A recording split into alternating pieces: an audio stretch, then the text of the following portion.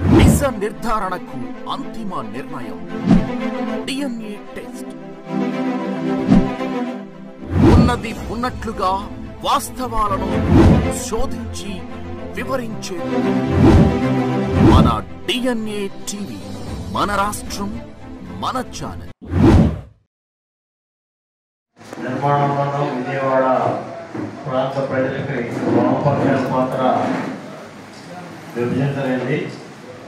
మారుతాం విజయవాడలోనే నినాదంతో ఈ రోజున ఎన్నికల ప్రచారానికి వెళ్తున్నటువంటి సిపిఎం విజయవాడ సెంట్రల్ నియోజకవర్గ ఆహ్వానించినట్టునే ఇచ్చేశారు బాబురావు గారిని మాట్లాడే ముందు విజయ ఏబిడబ్ల్యూజే నాలుగు నిమిషాలు మాట్లాడిన తర్వాత బాబురావు గారు మొత్తం ఎన్నికల ప్రణాళిక ఏంటి కమ్యూనిస్టుల మేనిఫెస్టో ఏంటి విజయవాడ నగరం?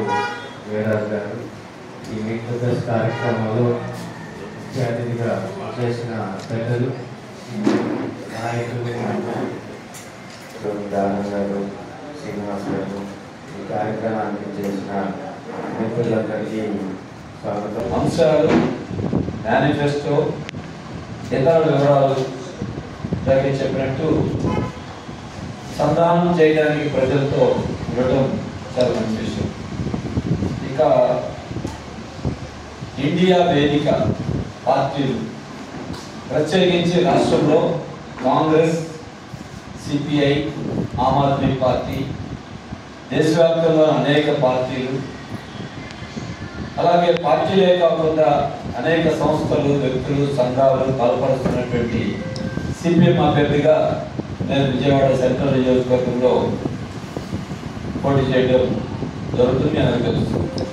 ఈ సందర్భంలో ముఖ్యమైనటువంటి రాజకీయ అంశాలన్నీ రాష్ట్ర దేశ స్థాయిలో నాయకులు ఎట్లా వివరిస్తున్నారు ఇక్కడ నేను ప్రత్యేకించి విజయవాడ నగరం ఆ అంశాలని ఎక్కువ భాగం వివరిస్తాను. రాష్ట్రానికి సంబంధించిన దేశానికి సంబంధించిన విషయాలు ముఖ్యంగా చెప్పాలంటే రేపు నరేంద్ర మోడీ గారు విజయవాడలో ఎనిమిదవ తేదీన రోడ్ షో మరి రోడ్ షో పేరు ఎందుకు వచ్చిందో తెలియదు కానీ ఆ రోడ్ షోలో షో ఉంది. అయితే ఇది మోడీ గారి షోగానే పరిమితం కాకూడదు భవిష్యత్తులో రాష్ట్రానికి ఏమి వాగ్దానాలు చేస్తారు అనేది తర్వాత. పదేళ్ళ నుండి బీజేపీ కేంద్రంలో అధికారంలో ఉంది. ఒక రకం చెప్పాలంటే రాష్ట్రంలో కూడా పదేళ్ళ బీజేపీ పాత్రతోనే అధికారం ఉన్నట్టు చెప్పచ్చు. గతంలో నాలుగేళ్ళు ఎన్టీఏగా రాష్ట్ర మంత్రివర్గంలో బీజేపీ వారు కూడా మంత్రివర్గలే. వైసీపీలో మంత్రులుగా లేకపోయినా కేంద్రంలో వైసీపీ వాడు కేంద్ర మంత్రివర్గం లేకపోయినా ఇద్దరు ఒక రకంగా చెప్పాలంటే జాయింట్ ప్రభుత్వాలాగానే అన్ని విషయాలు నడుస్తుంది అందుకే ఈ పదేళ్ళ కేంద్ర ప్రభుత్వ పాలన రాష్ట్ర ప్రభుత్వంలో ప్రత్యక్ష పరోక్షమైనటువంటి కీలక పాత్ర నిర్వహిస్తున్న బీజేపీ మోడీ గారి ద్వారా నేను చెప్పాల్సింది ఆంధ్రప్రదేశ్కి గతంలో రెండు వేల పద్నాలుగులోను పంతొమ్మిదిలోను చేసిన వాగ్దానాలే కాదు వాగ్దానాల కంటే మించినటువంటి విభజన చట్టం పార్లమెంట్లో చేసిన తీర్మానాల విషయంలో మీరు ఏమి చేశారు అని రాష్ట్ర ప్రజలకి ముందు సమాధానం సంజాయిషి చెప్పాల్సిన బాధ్యత మోడీ గారి మీద ఎన్డీఏ నాయకుల మీద ప్రత్యేక హోదా ముగిసిన అధ్యాయం అని అన్నారు.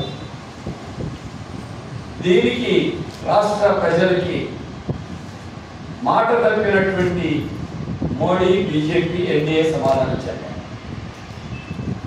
రెండవ విషయం ఢిల్లీని తలవన్నే రాజధాని.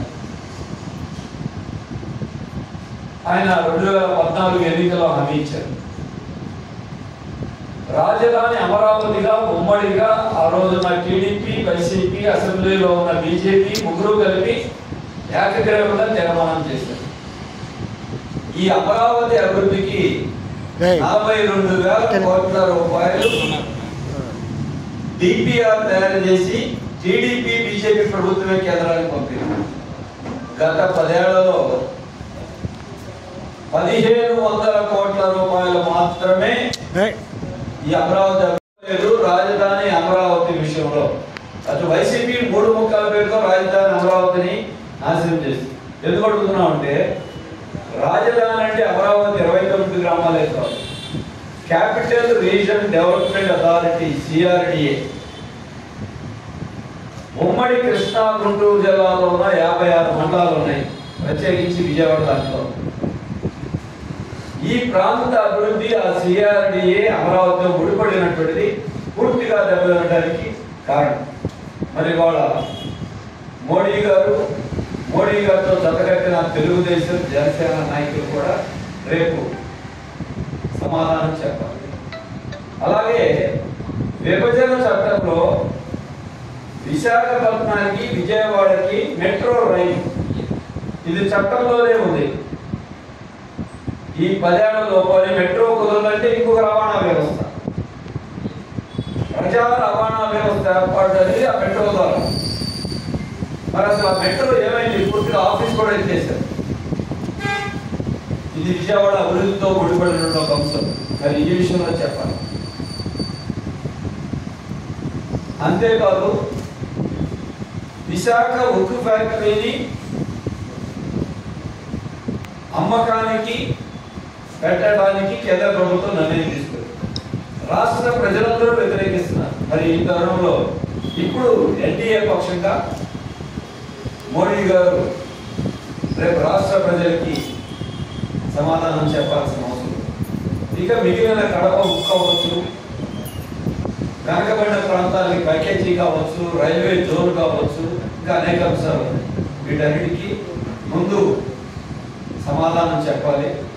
అలాగే వైసీపీ ఈ బీజేపీకి ఎందుకు అప్పుడు మద్దతు ఇచ్చారు ఇప్పుడు మద్దతు ఇస్తున్నారు?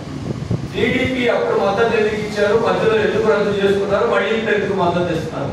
ఇవన్నీ కూడా రాష్ట్ర ప్రజలు వేసేటువంటి ప్రశ్నకి సమాధానం చెప్పాలి. వైసీపీ ప్రభుత్వం గత ఐదేళ్ళలో పూర్తిగా బీజేపీకి లొంగిపోయింది.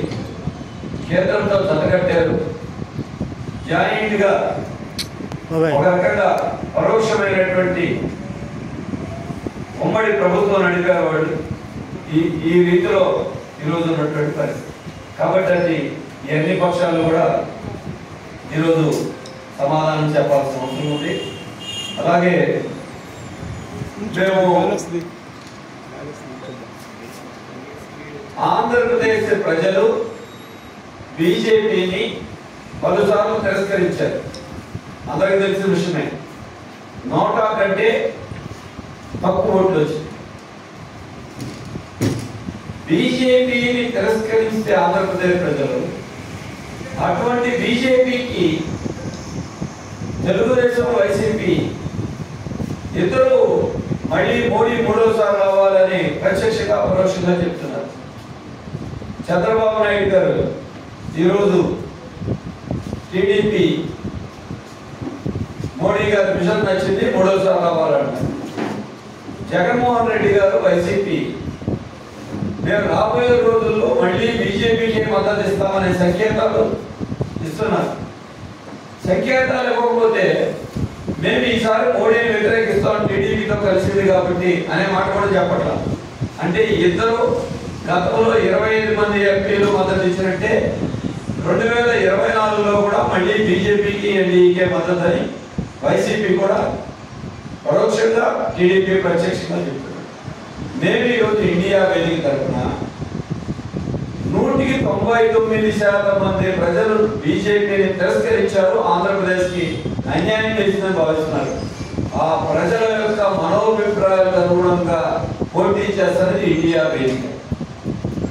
మిగిలిన వాళ్ళు ప్రజా మనోభిష్టానికి వ్యతిరేకంగా బీజేపీని తిరస్కరించిన పార్టీతో ఈ రెండు ప్రత్యక్ష పరోక్ష పొత్తులు పెట్టుకుంటా ఉన్నాయి. అందుకే వారు ప్రజాభిప్రాయానికి వ్యతిరేకంగా బీజేపీని బలపరుస్తున్నారు. మేము ఆంధ్రప్రదేశ్ ప్రజల మనోభిప్రాయానికి అనుగుణంగా బీజేపీ బీజేపీ ద్రోహం బీజేపీతో జతగట్టిన పార్టీల మీద మేము పోరాటం చేస్తాం. అందుకే నూటికి తొంభై తొమ్మిది శాతం మంది ప్రజల యొక్క కావాలనే అభిప్రాయాన్ని వ్యక్తం చేసే రీతిలో మా పోటీ కానీ మా విధానం కానీ ముందేటటువంటి పక్షాలు రాజకీయ అంశానికి సంబంధించినట్టు. అందుకే కేంద్రంలో మోడీని రాష్ట్రంలో వైసీపీని గద్దెదించండి బీజేపీతో జతగట్టున్న తెలుగుదేశం జనసేన తిరస్కరించండి అనే అంశంతో మేము ముందుకెళ్తున్నాం.